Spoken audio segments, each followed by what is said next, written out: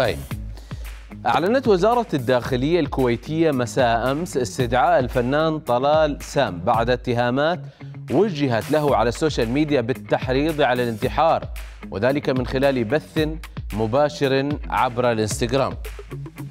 من شاهد الفيديو الذي نعتذر عن نشره يرى هذا الفنان وهو يصف يصور نفسه بالطبع آه، من هاتفه ويقترب من حافة السلم ثم تراه يقترب أكثر فأكثر قائلا يا أطفال جاهزين؟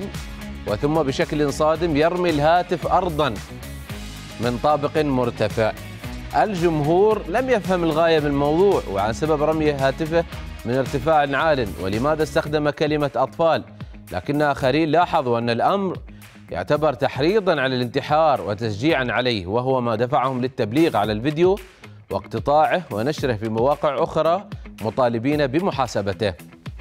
الداخلية الكويتية استجابت بشكل سريع لهذه الواقعة وغردت مساء أمس عبر حسابها على تويتر بخبر مفاده أنه تم استدعاء الرجل إلى التحقيق وتحويله للجهات المختصة لاتخاذ الإجراءات القانونية بحقه بالمقابل دافع بعض المغردين عن الفنان طلال سام قائلين أنه دائما ما يقوم برمي هاتفه بعد كل بث مباشر يقوم به وهو لا يعني أي شيء غير أنه أسلوب يتبعه ومتابعوه يعلمون هذا الأمر.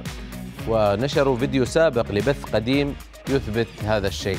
دعونا نشاهد الفكرة.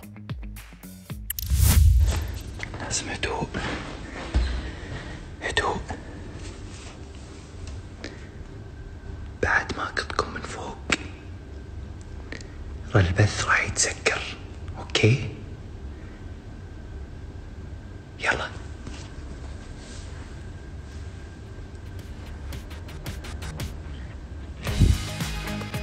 لنقرأ التعليقات الآن ونبدأ من أحمد بن سلطان الذي كتب معلقا اللي يتابع ويعرف طلال سام يعرف أنه دائما مع نهاية كل بث يحذف يحذف التليفون وموضوع التحريض مو صحيح صح أنه غلط في آه، الجملة وقال يا أطفال بس أنا واثق أنه ما يحرضهم على الانتحار.